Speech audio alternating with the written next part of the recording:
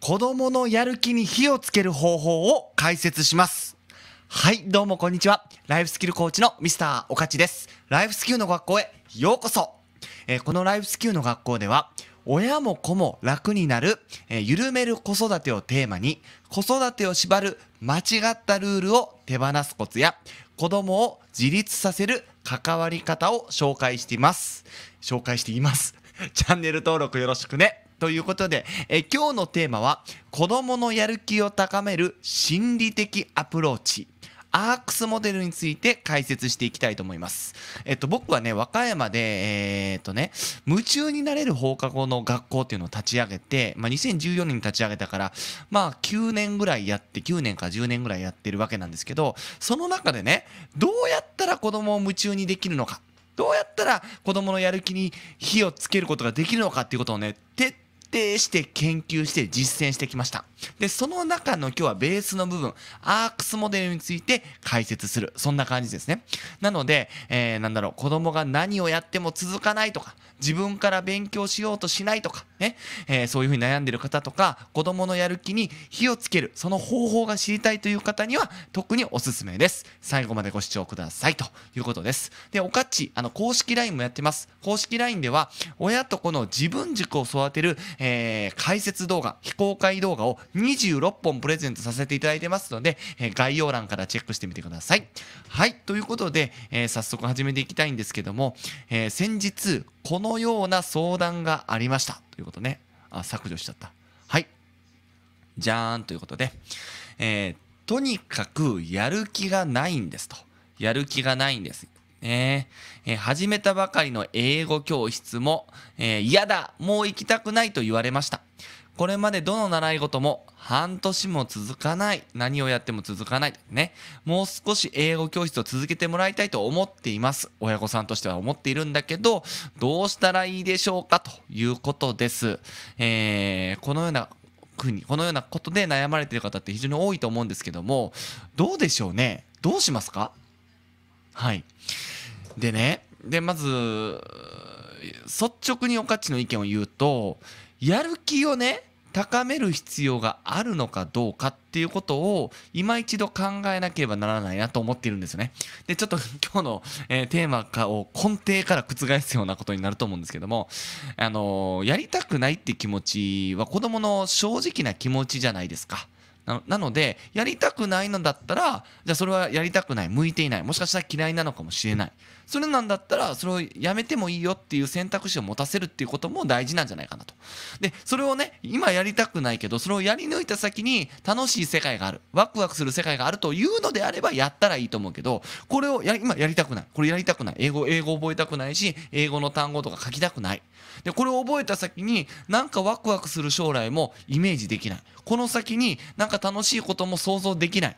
なのであれば僕はやめてもいいのかなというふうに思っていますね。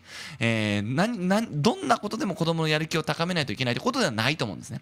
とはいえね、とはいえ、えーなんだろう習い事のためにもピアノを買ってしまったと。ピアノいくらするんだろう。安いやつやったら10万とかあるけど高いやつで100万円とかするわけじゃないですか。もうそういうた、えー教材を買ってしまったり英語の教材ディズニーの教材であったりねそういうテキストを買ってしまった。野球のユニフォームを買ってしまったね。あなたがやりたいって言ったから買ったのよって。その気持ちもわかるんですよでね、えーなんだろう、やめたいって言ったことを何でもやめていいよって言ってしまうと、やめ癖がついてしまうんじゃないかと、そういうことを心配されてる方もいらっしゃいます。そしてね、えーお価値としても、なんだろう、えーや、もう少しやったら、えーバスケ楽しいとこまで行けるのになとか、もうちょっとやったらダンスって楽しくなるのになっていうとこでやめてしまうっていうのはちょっと悲しい部分もあるんですね。えーなんだろう、僕と出会ったことでダンスが嫌いになるとか、僕と出会ったことでバスケが嫌いになるって、そんなこうね、作りたくないんですよ。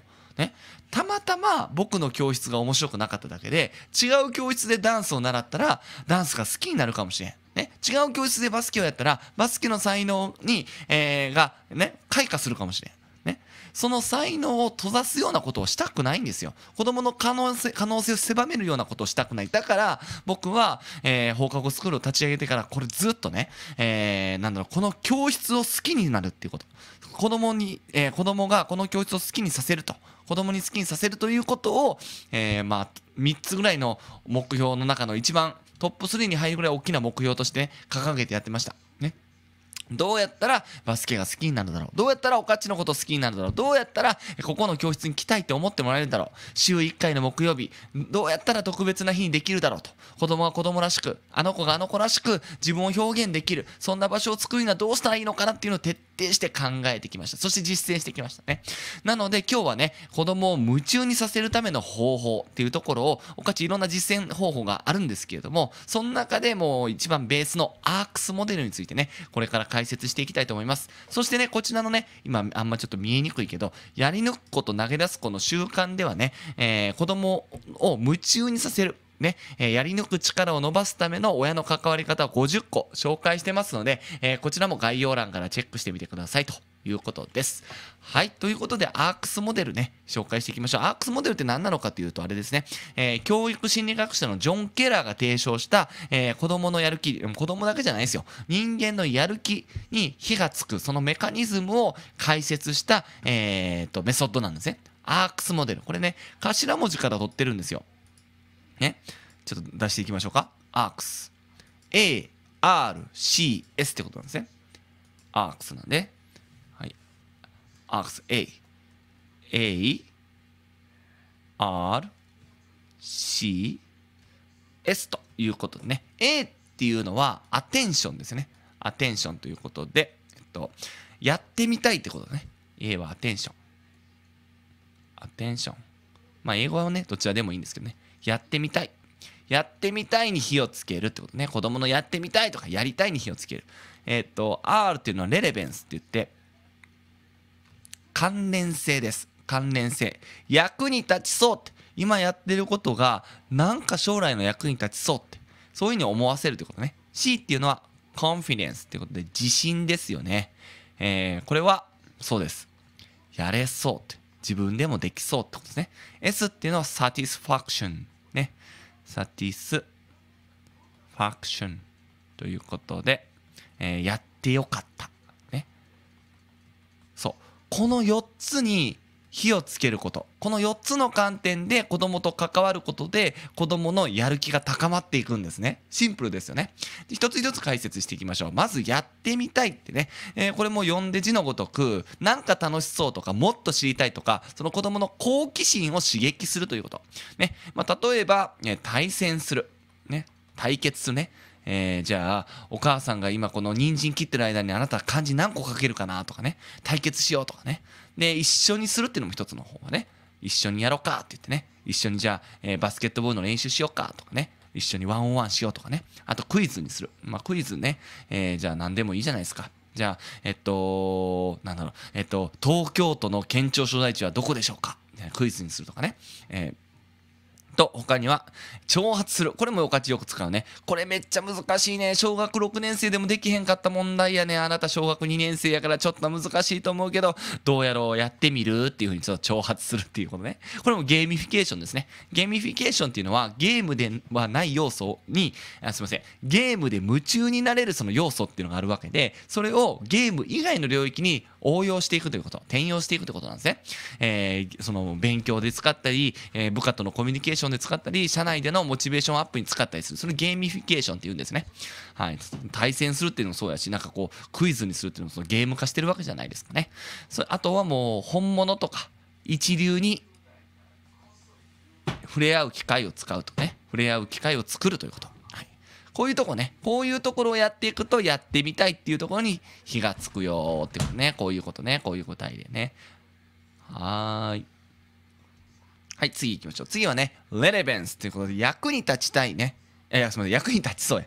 これもシンプルで、えー、やりがいがありそうとか、こま今、今ね、悩んでることが解決しそうとかね、えー、今ね、なんだパソコンの、あのー、ホームページを作ろうと思ってるんだけど、どうやったらいいかわからない。でも今このパソコンを作るね、HTML の講習がある。そこを受けたらなんか役に立ちそうだなって思う。だから、その講習を受けるっていうやる気につながっていくわけじゃないですか。ね、今これやろうとしてることが将来どんな役に立つのか、自分のためになるのかどうか、メリットがあるのか、そういうところを、えー、子供に感じさせるということです。ね。えー、もうこれシンプルに、もうこれマジカルクエスチョンなんですけど、これをやったら、どんないいことがあるって問いかける。もうこれシンプルですね。これをやり続けたらずっとずっとやり続けたらどんないいことがあるって問い続あの聞いていくそうすればその目的であったり、ね、やってる目的であったりその先にあるビジョンが見えてくるんですね。ビジョン。将来のワクワクする姿が見えてくる。そういうところを想像した状態で今やるこのタスクをやっていくとあのやる気が出るんですね。なんなんとなくやるんじゃなくてこのビジョンを想像してああじゃあこのなんだろうな将来は八村塁みたいなプロ選手になりたい。そのために毎日 50m 走走るぞって言ったらやる気が出るんですね。そう。ビジョンを想像させる目的を言語化するということこれがまず一つ目だよね、えー、それ以外には何だろうもう単純にメリットを伝えるもうこれシンプルですねそれを中学受験合格するとこういうメリットがあるよと。ね、高校受験がないから、えー、その分部活に専念できるよとかね、そういうメリットを伝えてあげるということ。そうすることで、あ、中学受験頑張ってみようとかなるかもしれないじゃないですかね。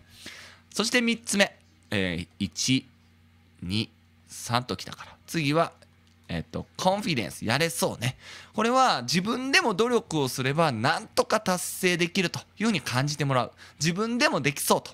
やっても無理かもっていう不安じゃなくて、えー、やればできそうっていう自信が勝れば行動できるチャレンジできる一歩踏み出せるということですね具体的なアクションとしてはそのベビーステップええ、絶対達成できる小さな目標を立てさせるということであったり、えっと、子供に決めさせる。自分で決めたことやったらねなんかこうあのなんだろうコミットするわけじゃないですか。子供に決めさせるね、えー、それであったりなんだろうな。あとはあ失敗を許すっていうのが大事ですね。失敗してもいいよ間違ってもいいよと。ね。その言葉がけでもいいんですよ。間違ってもいい。だって初めてやもん。初心者やもんな。みんな間違うから大丈夫。間違っても怒らへんよと。もうこれだけでいいです、ね、失敗を許すプラスその失敗論を語るね。失敗とは何でしょうか。ねそれが失敗論。ね失敗とは成功の母とかね。失敗とは転ぶことではなく立ち上がらないことだとか。あなたの失敗論を語ってあげる。それも大事ですね。そうすると失敗した時の不安がなくなるからやれそうやってみようっていうふうに一歩前に進めるようになるんですね。そして4つ目、サティスファクション。これはシンプルにやってよかったっていうことですね。やってよかったという楽しさとか満足感が得られる。えー、楽しかったり嬉しい経験をしたらもう一回やりたくなりますよっていうことね。これはね、感謝を伝えるっていうのもいいですね。あなたがお皿を洗ってくれたから、お母さんこんだけ自由な時間ができて読書ができたよ。ありがとうねって。感謝を伝える。これすごく大事ですね。あと、ご褒美。これご褒美は本当賛否両論なんですけどね。ご褒美を上げていくこと、えー、上げることで、え内的、内側のモチベーションであったり、好奇心が失われるっていうような、えっ、ー、と、心理学のね、え、アンダーマイニング効果っていうのも有名な話で。なので、えー、習慣化するまで、習慣化するまではこれ、初期の段階では結構有効なのかなと。で習慣化してしまったらやらなかったら気持ち悪いっていう状況じゃないですかその状況を作ったらもう勝ちなんで、ね、習慣化するために3日間頑張ったらスシロー行こうかとかねなんか、えー、じゃあ1週間頑張ったらあなたの好きな映画行こうかとかねなんかそういうふうに、えー、期日を決めて、えー、もで、えー、ご褒美を設定するっていうのもすごくおすすめです。はい。ということでね、えー、今日はね、このアークスモデルについて解説しました。アークスモデルね、A、やってみたい。あ、えー、R、役に立ちそう。C、コンフィデンスでやれそう。で、S がサティスファクションでやってよかった。これやってみたい。役に立ちそう。やれそう。やってよかった。ここに火をつけること。ね。これを、えー、じゃあどうやって役に立ちそうと思わせるかなって一つ一つの観点で考えて子供と向き合っていくことで子供は自然に、えー、やる気が出てきて、えー、自分から動き出します。自分の頭で考えて自分で行動する。で自分がやりたいって気持ちが強かったら失敗しても立ち上がるんですね。立ち上がって最後までやるんだって。そうやり抜く力も高まっていくということです、えー、なのでここら辺アークスモデルをちょっと参考に、えー、子供と関わってみてはいかがでしょうかということです。でこのークスモデルをね、詳しく解説した、えー、解説したのがね、こちらの本です。まあ、アークスモデルだけじゃないんですけどね。アークスモデルだったり、子供の主体性であったり、好奇心をどうやって伸ばすのか、自己肯定感どうやって高めるのかっていうのを解説したのが、こちらのやり抜く子と投げ出す子の習慣です。こちら、買ってください。よかったら買ってくださいね。はい。ということでね、今日はね、こんな感じで子供のやる気を高める心理的アプローチについて解説しました。この番組では、親も子も楽になる緩める子育てを配信しています。えー、ちょっとでも参考になったという方は、チャンネル登録よろしくね。で、公式 LINE も登録だけよろしく、いつでも解除できるからね。はい。ということで、えー、今日はこんな感じでしょうか。I am a star, you are a star. 自ら輝けば、世界は輝く。ワンダフルな一日をお過ごしください。バイバーイ。